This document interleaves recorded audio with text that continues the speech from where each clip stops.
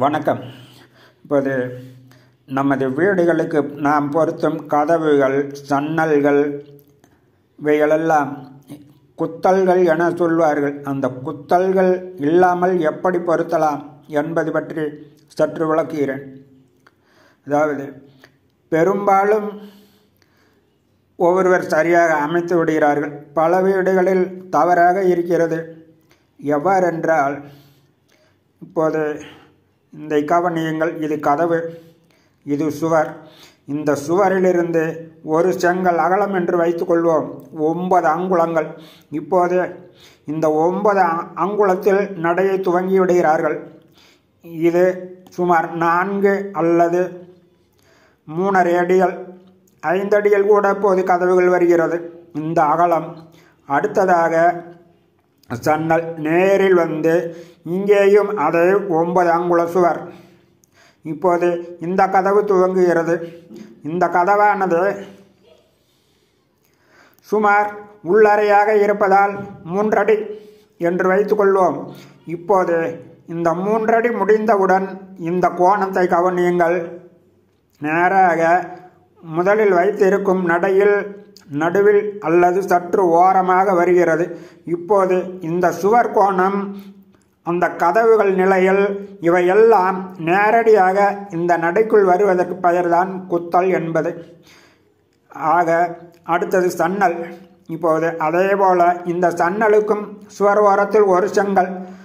அதன் பிறகு சன்னல் துவங்கி விடுகிறது. இது குறைந்த மூன்றடி என்றால் நேராக இருக்கும். அல்லது சற்று பெரிய சன்னல்கள் என்கிற போது சற்று அகண்டு வரும். அப்போது இந்த சுவர் கோணம் இந்த மூன்றும் நேருக்கு நேராக வருவதை கவனியுங்கள். இந்த மூன்றும் நேருக்கு நேராக வந்துவிட்டது. ஆனால் அடுத்த கோணங்கள் இது அதிகப்படுகிறது. இது உள்வாங்குகிறது. சன்னல் அதிகப்படுகிறது. இப்போது இந்த நடுவில் இருக்கும் நடையின் ஒரு கோணமானது சன்னலுக்குள் செல்லும்.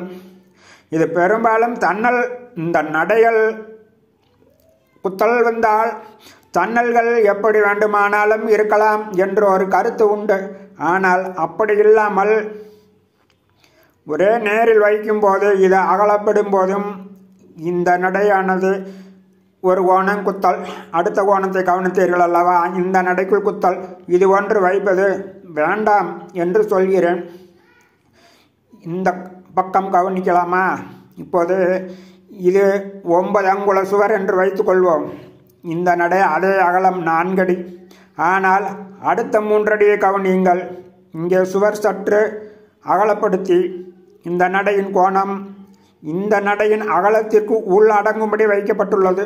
இது சரி. அதேபோல இந்த சன்னலை கவனியுங்கள். இங்கேயும் இங்கே ஒன்பது அங்குலம் என்றால் இங்கே அரைக்கல் போடலாம்.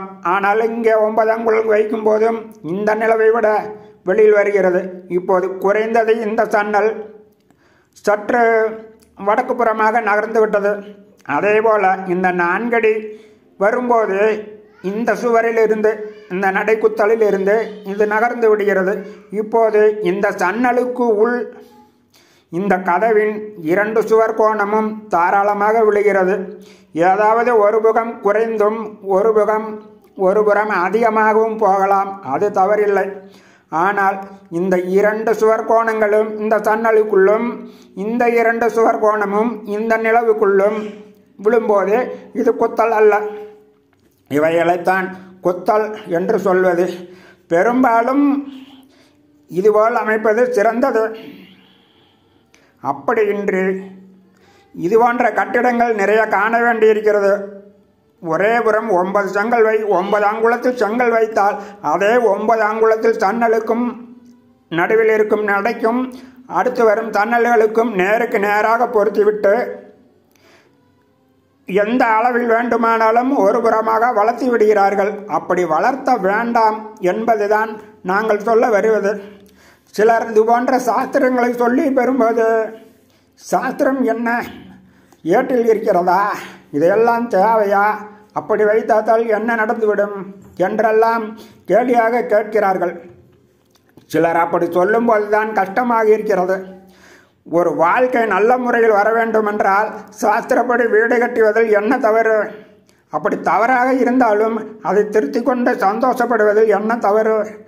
உங்கள் வீடுகளில் இது போன்ற தவறுகள் இருந்தால் சரி புதிதாக கட்டுகிறீர்கள் என்று வைத்துக் கொள்ளுங்கள். இதை நிறைய கற்றுக்கொண்டு நல்லபடியாக வைக்கும்போது மனதில் ஒரு சந்தோஷம் இருக்கத்தானே செய்கிறது.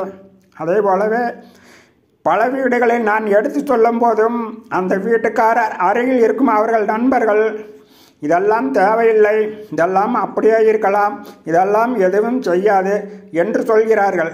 ஆனால் என்னை வந்து அவர்கள் வீடு கட்டும்போது வாஸ்து சொல்ல அழைக்கிறார்கள். அப்போது என்ன? தனக்கு வரும்போது எல்லாருமே பயப்படுகிறார்கள். ஆனால் அடுத்தவர்களுக்கு யோசனை சொல்லும்போது கேலியும் கிண்டலும் செய்கிறார்கள். ஆகவே புத்திசாலியில் என்ன செய்ய வேண்டும்? அடுத்தவர்கள் யோசனையை பொருட்படுத்தாமல் தங்கள் வீடுகளில் தவறில்லாமல் நிலவுகள் சன்னல்கள் வைப்பதை நிறைவேற்ற வேண்டும். நன்றி வணக்கம்.